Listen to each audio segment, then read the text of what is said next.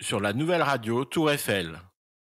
Ce soir, nous vous proposons Sur la route du silicium Civilisation, saison 2, épisode 4, La qualité du silence, présenté par Léno Concorde, réalisé par Seb Joncou, avec Philippe Aufort, Élise Cancès, Marie de Holm, Eric Pfaff, Didier Roy, Nathalie Goncharov, Thomas Aufort et John Amahara.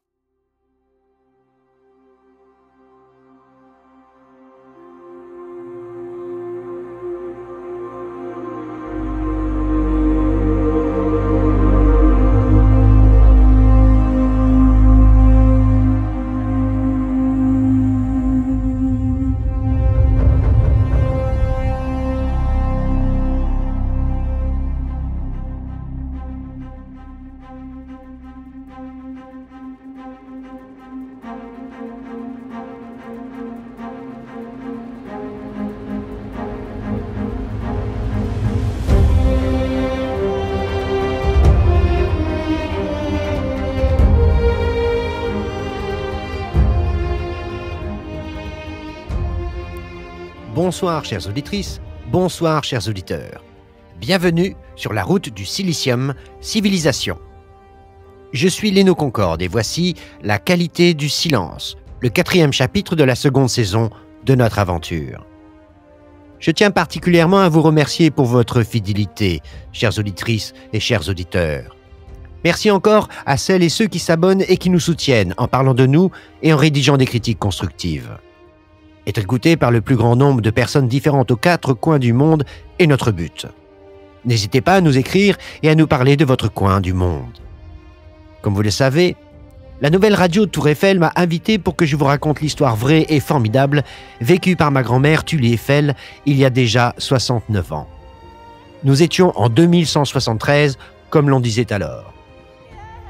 Je vais vous dire comment Tully, bibliothécaire et ingénieure compétente, a ouvert la route du silicium en compagnie de l'égide Pierre Lazare et du destrier Gazlan Gazal. Je vais vous raconter comment cette femme déterminée, guidée par la palefroie Karakoum, a sauvé notre cité parisienne bien-aimée.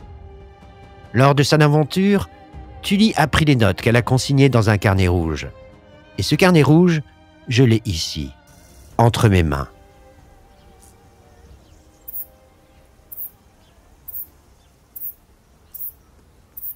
Aujourd'hui, Tully et ses compagnons sont dissimulés dans l'herbe haute du sommet de la colline de Belleville. Le printemps est bien avancé et les fleurs des prés forment une couche bien accueillante après leur chevauchée effrénée depuis les plages de Saint-Omer. Nos héros observent depuis un long moment la ville assiégée. Aujourd'hui, il ne reste rien du quartier cosmopolite du Belleville d'avant la chute. Ici, c'est la campagne. Tully connaît l'endroit car il y a quelques années, Alexandria avait proposé de créer à nouveau un télégraphe aérien du physicien Claude Chappe, tel qu'il se tenait ici pendant la première révolution dans les années 1790. Bien que les Parisiens soient parvenus à recréer l'instrument de télécommunication, la faible population en dehors de Paris lui enleva beaucoup de son attrait. Il reste encore aujourd'hui un poteau en forme d'échelle avec à son sommet deux des trois bras articulés mais plus personne ne l'actionne pour communiquer. Au bas de la colline, Paris s'étend. Succession de jardins maraîchers, de moulins à vent, de champs et de petites fermes abandonnées au son du tocsin, alors que les assaillants prenaient le contrôle des faubourgs de la ville lumière. Les quartiers désertés entourent l'île de la Cité, le cœur fortifié de la ville. Tous les Parisiens y sont réfugiés. Tully inspire lentement par le nez, ferme les yeux et expire profondément. J'ai conscience que j'inspire. J'ai conscience que j'expire.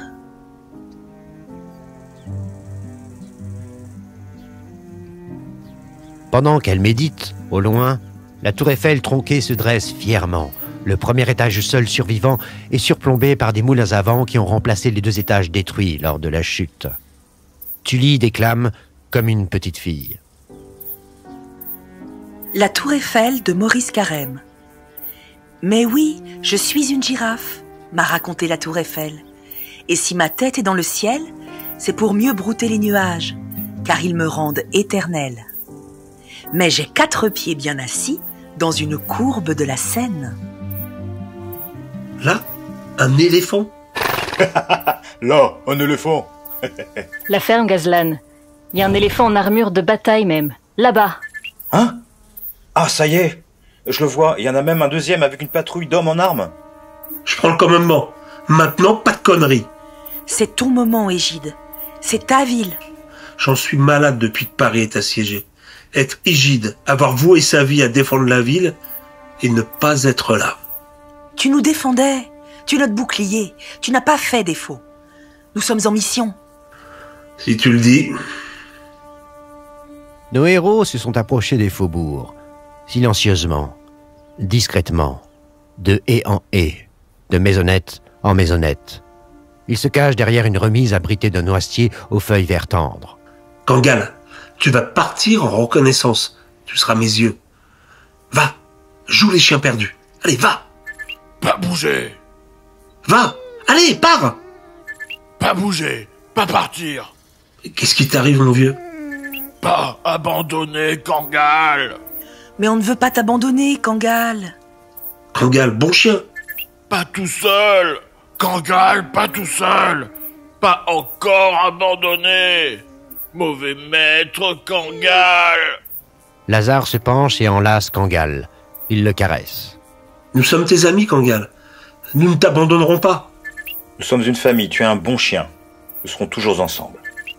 Bonne famille Le chien au pelage fauve et au collier à pointes acérées déambule dans les allées et les ruelles vides. La truffe au vent, il détecte des odeurs étrangères, des odeurs d'animaux inconnus et d'humains au parfum mystérieux. Il remonte la piste. Au détour d'une maison de briques de terre crue, il entend des voix parlant une langue inconnue et découvre une phalange de soldats en tenue de combat. Plein soldat, tout noir Des nénéphants Chats géants Beaucoup soldats Kangal, bon chien. Quelles sont leurs armes? Des pampans Des arcs? Pampan Des lames C'est bien, Kangal. Allez, reviens maintenant. Zon armure Bon chien, ne te montre pas. Reviens, mon chien, reviens. C'est du lourd. Des soldats, pas des pirates ou des barbares. Des soldats noirs, des éléphants et des lions de bataille? Mais ils viennent d'Afrique? C'est dingue Personne n'a de nouvelles d'Afrique depuis des décennies Venir de si loin pour faire la guerre, mais... Mais pourquoi Paris? Pourquoi maintenant? Paris n'a pas d'ennemis. Nous n'avons pas d'ennemis. Pas d'ennemi, pas d'ennemi, je sais pas ce qu'il te faut. Et Chalipa Sharifi Elle a essayé de nous voler et de nous tuer plusieurs fois. La première fois au caravansérail de Koumis et la deuxième fois en plein désert du Taklamakan avec une véritable horde de barbares. Personnellement, je classe les gens qui essaient de me tuer plusieurs fois dans la catégorie de mes ennemis. Mais elle est morte maintenant. Le chien géant rejoint ses compagnons. Kangal, bon chien Tu vois, Kangal, nous sommes là. Nous ne t'avons pas abandonné. Cette Chalipa parlait d'une cité-monde. Babel?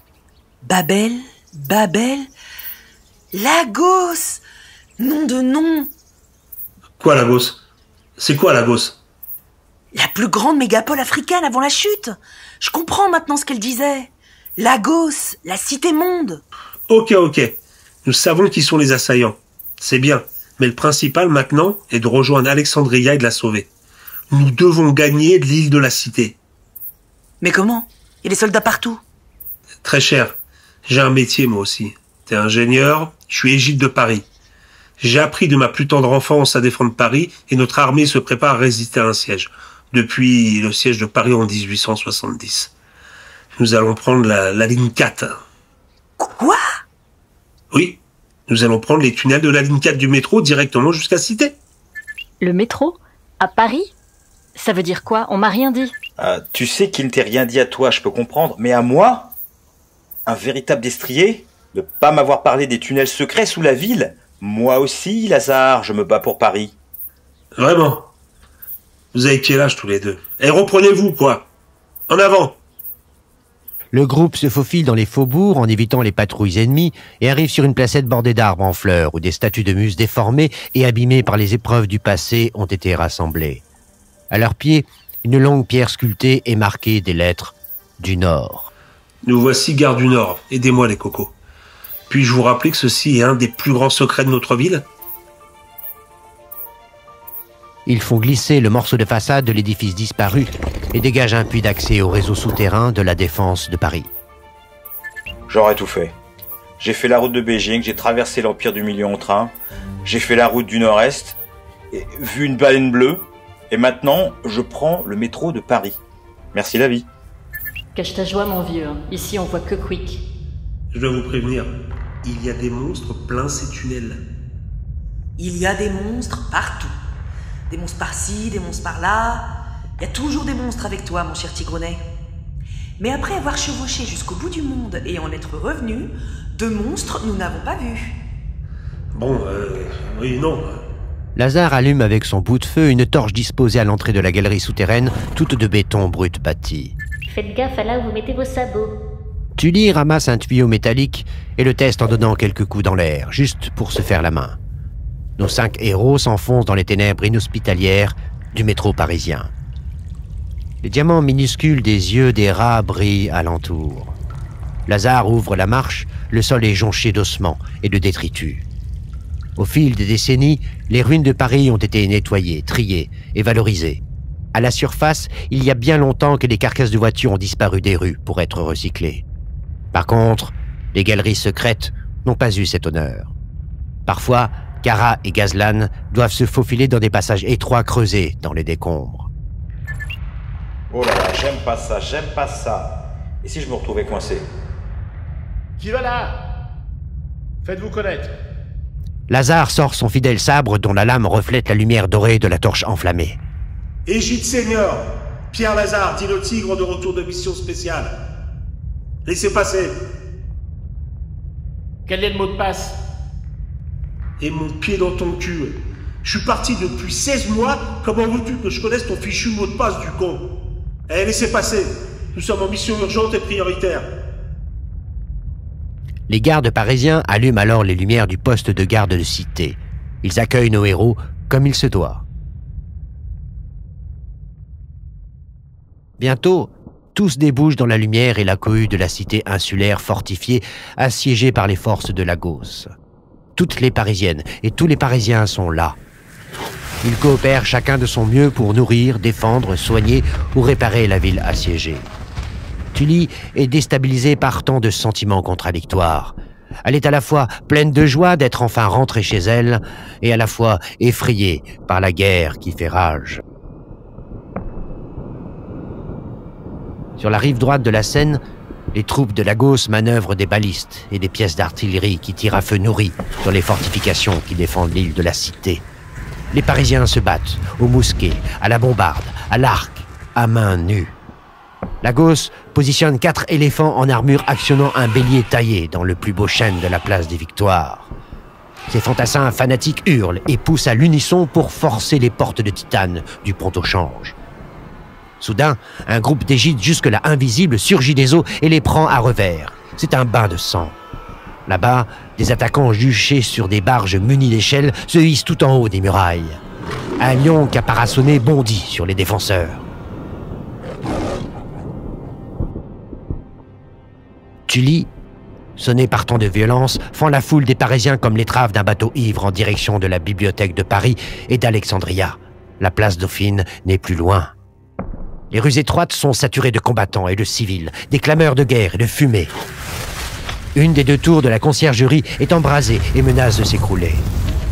Une silhouette élancée surgit du chaos. Jacques de Minilmuche, sergent-chef des sapeurs-pompiers de Paris, dirige la manœuvre. Une lance ici et une autre par la fenêtre. Faites gaffe à vous, les gars. Messieurs, dames, laissez le passage. Laissez-nous intervenir. Madame, madame, n'approchez pas. Hé Tully Le temps s'arrête.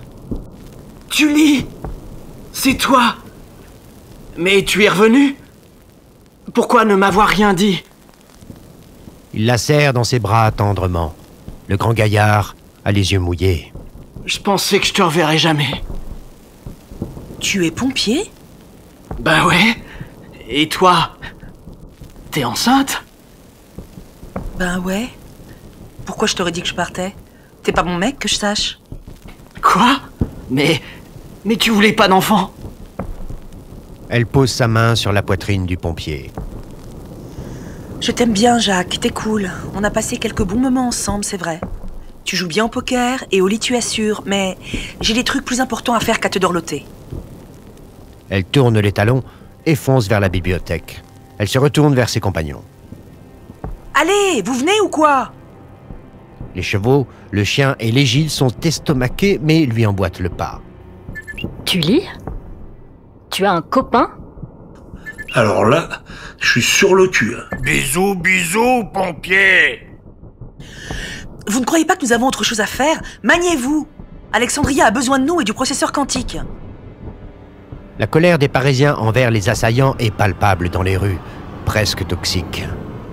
Tully se demande pourquoi Alexandria ne fait rien pour reprendre le contrôle de la situation. La place Dauphine et ses bâtisses centenaires s'offrent à eux. Ici, il y a plus d'espace. Juste là-bas se tient la bibliothèque de Paris, demeure de la dernière intelligence artificielle dans le monde, dernière forteresse du savoir et de la science. Tully court à l'intérieur du bâtiment, serrant contre elle le précieux composant quantique qu'elle a payé du fruit de ses entrailles. La grande salle aux boiseries dorées est presque vide. Au centre brille faiblement ce qu'il subsiste d'Alexandria. Les écrans qui affichent son avatar défaillant clignotent et sont constellés de glitch. Alexandria Tu lis ma grande amie. Alexandria n'est plus que l'ombre de ce qu'elle fut. Camelot obsolète, elle n'est plus en mesure d'aider les Parisiens. Elle n'est plus en mesure d'aider qui que ce soit, même pas elle-même. Tilly ferme les yeux et repense à Tao Kan. Elle inspire lentement par le nez, puis expire en ressentant la différence de température entre l'air qui sort de ses narines de celle de l'air qui y entre. Tully se concentre sur ses sensations corporelles. Ici et maintenant. Elle explore la frontière entre la naissance et la conscience. Là se trouve le flot. Calme et sereine, elle distribue les consignes. Passez-moi mes outils. Ils sont dans la caisse bleue, dans ce meuble. Assurez-vous que les moulins de la Tour Eiffel tournent au maximum de leur production électrique, coûte que coûte. Empêchez quiconque de rentrer. Il faut à tout prix limiter la présence de poussière en suspension dans l'air. Tully approche des ordinateurs antédiluviens dans lesquels l'IA s'incarne, prend un tournevis au manche de plastoc orange dans sa boîte à outils et commence à démonter le châssis de la CPU quantique obsolète à laquelle se raccroche l'existence d'Alexandria. Alexandria, diagnostic système, s'il te plaît. Sur un écran plat, des colonnes de chiffres et de données défilent. Elles sont truffées de glitch. Tully inspire lentement. Elle commence à démonter la cage d'isolation, puis la chambre d'étalement quantique avec des outils aux formes complexes, venus d'un autre temps. La foule des Parisiens en colère fait irruption dans l'amphithéâtre doré. Les gens sont excédés, ils veulent en finir avec le siège, ils veulent du sang. Ils scandent à tue-tête Vive la guerre, vive la mort Il faut en finir. Le maire et ses administrés sont venus consulter Alexandria. Ils sont désemparés. Alexandria est maintenant trop faible pour les aider. Je vous demande de vous arrêter. C'est peine perdue. Les gens tempêtent et vitupèrent. Silence Silence Elle est en train de mourir Un peu de décence. Laissez-moi la soigner. S'il vous plaît, sortez Le maire et les officiers supérieurs des Égides finissent par reprendre le contrôle de la foule après de longues minutes de chaos. Ils présentent un plan auquel Alexandria s'est toujours opposé. Ils vont assassiner la générale qui est à la tête de l'armée de la cité-monde de Lagos, la générale Bello. Son armée harcèle Paris depuis des mois mais semble maintenant en mauvaise posture car ses vivres viennent à manquer, contrairement à ceux de Paris. Les réserves parisiennes sont grandes et alimentées en permanence par les cultures de champignons de toutes sortes qui poussent à l'abri des catacombes. Les Égides expliquent que tous les matins, la générale ennemie visite ses troupes. Se trouve toujours au même endroit, à la même heure. Un bon tireur pourrait lui faire son affaire. Un sniper est désigné. Ce sera Lazare. Il est le meilleur sniper et a déjà connu le feu. Les officiers nomment l'opération Kagemusha. Très bien, je remonte voir. Un officier remet un fusil de précision à Lazare. L'égide l'inspecte, le tâte, le soupèse et l'accepte. Tully réussit enfin à faire évacuer l'amphithéâtre. Elle retrouve le calme et la sérénité nécessaires à la réparation critique du corps électronique d'Alexandria. Elle n'a pas conscience que son fidèle Lazare gagne les fortifications et y trouve une position favorable donnant sur le pont neuf. L'égide, c'est qu'au lever du jour, la générale Bello sera à sa merci.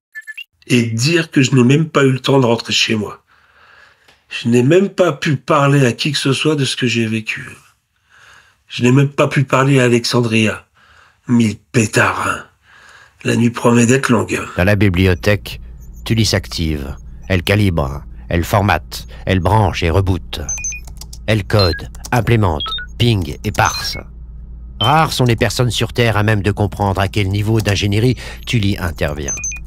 Il s'agit plus de magie que de la science des calculateurs quantiques. Kangal, Gazlan et Kara dorment dans un recoin de la grande salle aux boiseries dorées, écrasés de fatigue.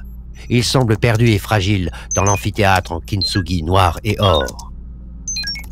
Tiens bon, tiens bon. N'aie pas peur, ma grande Annie. Tout ce que je sais, je te le dois. Tu me l'as enseigné. Tu es mon encyclopédie à moi. Nous avons tellement besoin de toi. J'ai tellement besoin de toi. Je me souviens de toi, ma grande amie. Je me souviens de la première La première fois, Je t'ai vu. Où tu m'as touché. Où tu as ri. moi aussi, je me souviens. Les heures passent dans un silence méditatif. Tully est dans le flot. Elle est sur Terre pour cela. Lorsqu'elle mémorise et déclame de la poésie, lorsqu'elle cherche la meilleure stratégie au poker, lorsqu'elle reprogramme la dernière intelligence artificielle sur Terre, elle est en accord avec l'univers, en accord avec sa propre vérité. Tully Eiffel et Tully Eiffel. Les écrans s'illuminent soudain. Un superbe avatar doré apparaît. Cogito. Ergo. Sum. Je suis vivante. Vivante. Merci, Tully. Tu sais que tu peux compter sur moi. Toujours et à jamais. Je me sens comme renaître. Je suis plus forte, plus puissante. Le processeur EGAN 42 que tu me donnes est d'une telle puissance. Je vois tout. Je me souviens de tout. Je communique par la pensée. Quel bonheur, quelle liberté. Oh, quelle joie d'être vivante. Merci, ma très chère amie.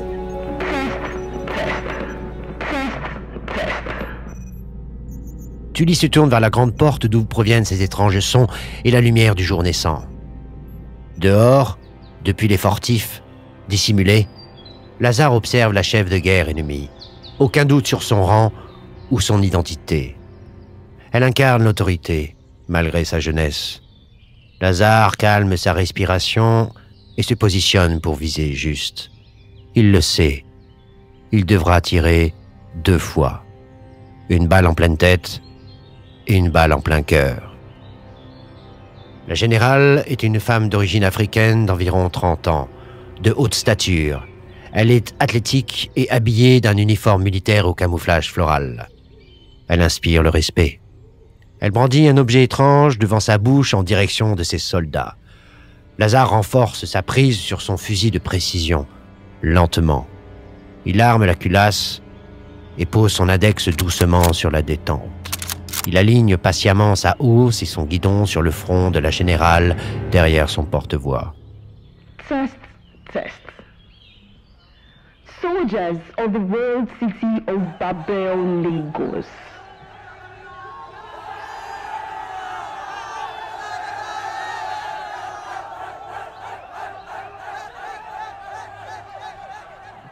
11 long weeks, we have been laying siege to the great city of Paris.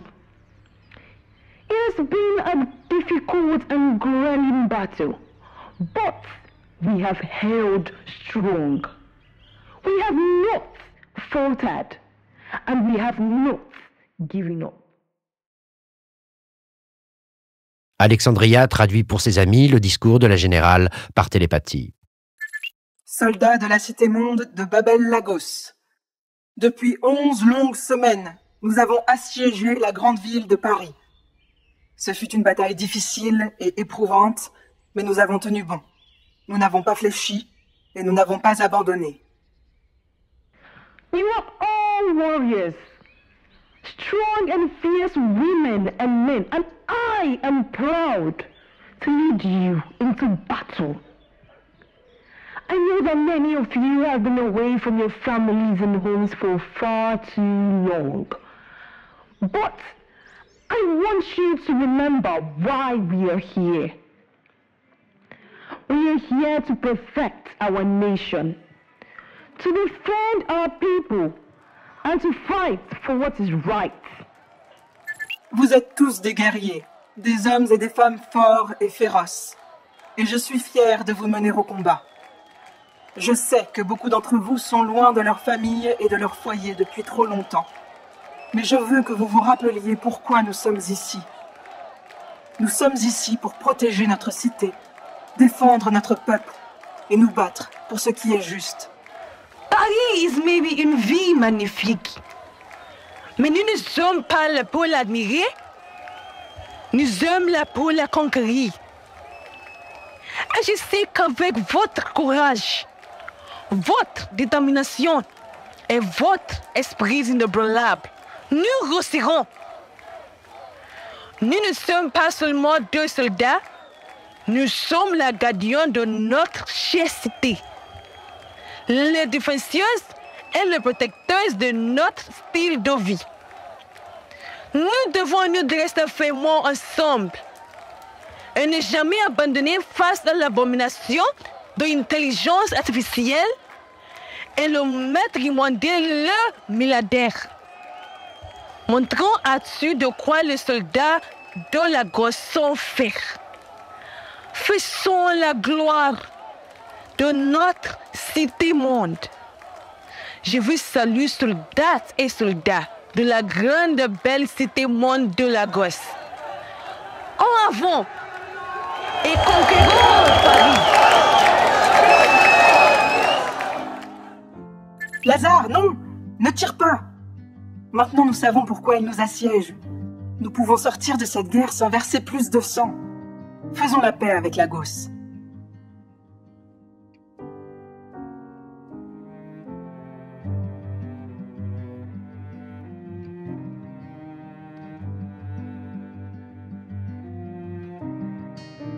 L'odyssée de la route du Nord qui a mené nos voyageurs à destination est maintenant terminée. Alexandria est sauvée, mais rien n'est encore gagné. Paris, leur chère cité, est en grand danger.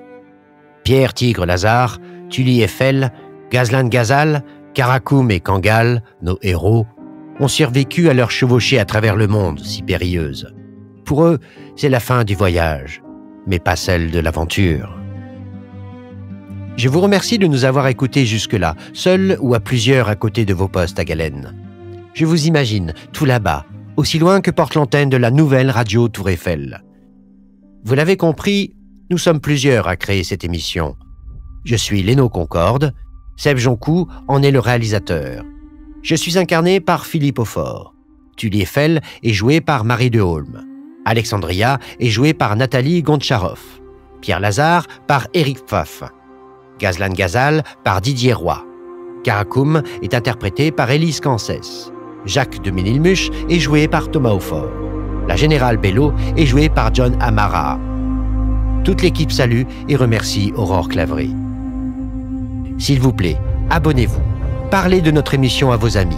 Invitez-les chez vous pour l'écouter ensemble. Nous vous donnons rendez-vous sur les ondes très bientôt pour le prochain épisode de Sur la route du silicium, Civilisation.